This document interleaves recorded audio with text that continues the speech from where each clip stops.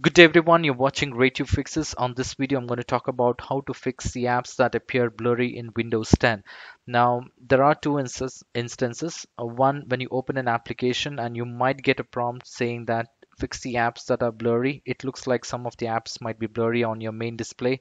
We can try to fix these apps. In case if you get this prompt, it is very easy steps to fix. So all you have to do is you will have to uh, click on open settings and then select apply and then try to open the application which was blurry and see if that works. In case if if you don't get a prompt and in case if that doesn't fix the problem you will have to follow the steps manually.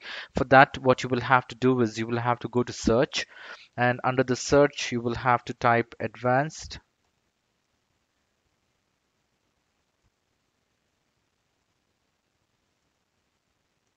Scaling settings. And once you type this you will see an option which says fix apps that are blurry. Click on this.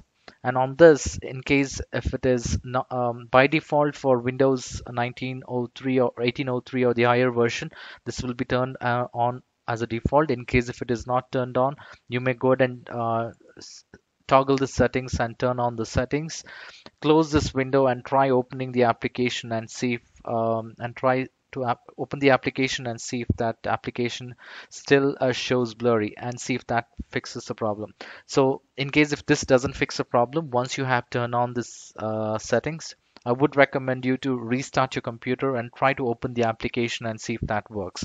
So this should fix the problem. In case if you're still facing a problem, you may leave me a comment on a comment section and I can come up with the best possible solution. I hope this video was useful. In case if you like this video, please make sure to hit the like button and do not forget to subscribe to my channel. Thank you. Have a great day.